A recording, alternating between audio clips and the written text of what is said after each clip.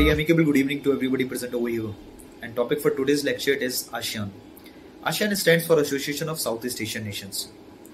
Now, from the full form only, we can conclude that it includes the nations which are coming in Southeast Asia. There are several nations which are in Southeast Asia, but who are among those which are in both of these groups? So there are 10 members. First one is Brunei, then comes Laos, Cambodia, Vietnam, Indonesia, Myanmar, Malaysia, Philippines, Singapore, and Thailand.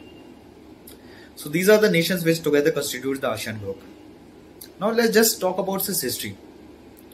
Its prime objectives, its current position, as well as its pact on world forums. One by one we'll cover this. Talking about its history. This organization came into effect in 1967. Now, what was the real need to form such kind of organization in Southeast Asia? When we talk about its history and when we talk about 1960s and 1970s, we can have a fair idea that the whole Southeast Asia was full of chaos at that point of time.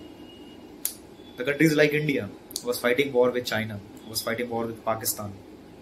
Countries like Laos, Cambodia, Vietnam was fighting for their independence.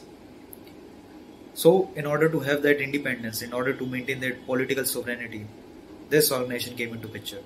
Because these countries had already seen the impact of neo-imperialism and neo-colonialism Mexico is one of the best example of neo-imperialism, which is still facing. Now, uh, now these countries wanted to avoid these kinds of things in future. That's why this organization came into picture. From uh, from geographical point of view, uh, we can also have an idea that these all these countries, all these ten nations, are small in size. Small in size in terms of its area as well as in terms of its population. So these countries were uh, having a fear that their independence can uh, go away.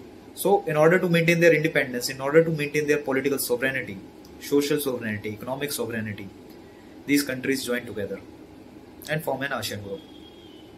Now, the prime objective of this organization is also the same to maintain the political harmony, social harmony, cultural one, and having economic tie-ups not only with ASEAN countries but also with the countries which are uh, the countries which are in Asia, uh, South Asia now, uh, when we talk about ASEAN and when we talk about India and what uh, what is the relationship between ASEAN and India? So it is one of the best relationship, one of the uh, very fruitful relationship because most of the ASEAN countries are major exporters of palm oil as well as other ingredients, and India is the biggest import, importer of these things.